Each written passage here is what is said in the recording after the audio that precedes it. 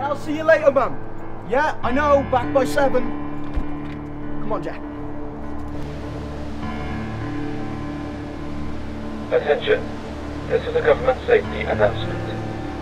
Curfew begins at 7 p.m. Severe penalties are in place for those who fail to comply.